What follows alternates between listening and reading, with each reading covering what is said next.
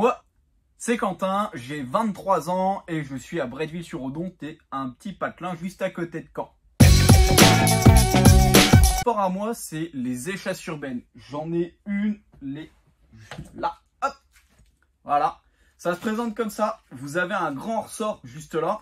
Vous mettez votre pied, bam, le genou ici et après, bah, c'est parti. Vous pouvez courir.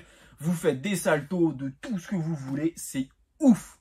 Alors ça, ça a été écrit en 2003 par M. Powerbock en Allemagne, hein, si je me souviens bien. C'est inspiré des athlètes en e-sport et puis euh, bah, c'est pas un sport qui est très très connu. Hein. C'est un investissement qui est quand même euh, assez grand. Donc ça s'est malheureusement pas trop démocratisé. Au parlant euh, du haut niveau, on a eu des compètes pendant de nombreuses années, mais c'est en train de s'essouffler avec le temps. Mais bon, on a quand même bien bien rigolé. C'était voilà, c'est un super sport, pas très connu, mais mettez-vous-y.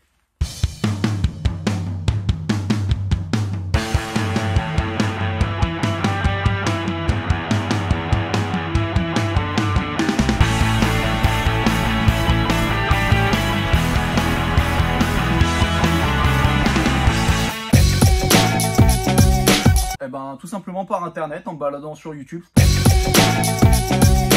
7 euh, ans, 7 ans, ouais, je crois, il me semble que j'ai commencé en 2013-2014, quand j'étais assez jeune. C'est super simple, je dirais comme beaucoup, beaucoup de freestylers en échelle, c'est le jour où tu passes ton premier salto arrière. Non mais clairement, attends, t'es là, tu cours, t'as l'adrénaline, t'as ton cœur, il est là, bam, bam, bam, comment il tape?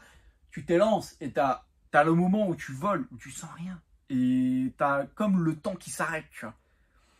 Et tu vois le sol en face, en dessous, et tu te dis, je vais mourir.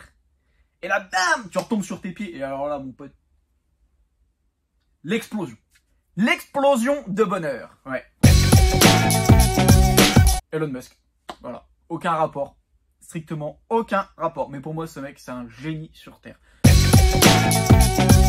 5 ans, 5 ans ouais. C'était en 2015 que j'ai rejoint la team après mon bac, là où j'ai commencé à faire euh, vraiment beaucoup beaucoup de des chasses.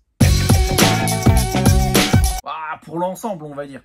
Parce que clairement, entre les démos partout en France, les soirées d'entreprise, même l'ambiance que t'as quand tu vas au trampoline, enfin c'est c'est un plaisir tout le temps. C'est une grande famille Normandie Jump.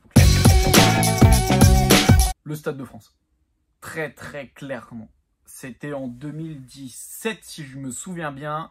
On était parti à l'occasion de la Danone Nation Cup. C'était euh, le Coupe du Monde Junior de football. Donc, euh, ouais, ouais, très très gros événement. Mais euh, je vous remets dans, le contexte. Imaginez, là, vous faites des, faites des figures, vous êtes là, vous êtes un peu chaud, tu vois. Et vous partez au Stade de France. On parle quand même, voilà, le plus gros stade de France, comme son nom l'indique.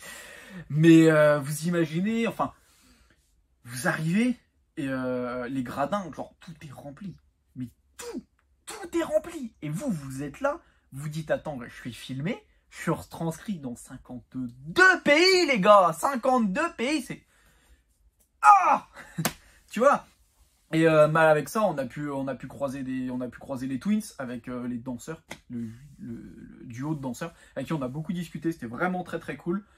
Et euh, la prestation, enfin, on avait vraiment l'impression de faire partie d'un très très grand spectacle. Tout était organisé, c'était à la minute près. Il y avait pas mal de pression quand même parce que bah voilà, c'est pas, c'est de l'international, c'est le Stade de France, mais beaucoup de pression, mais beaucoup de rire et de très très bons souvenirs.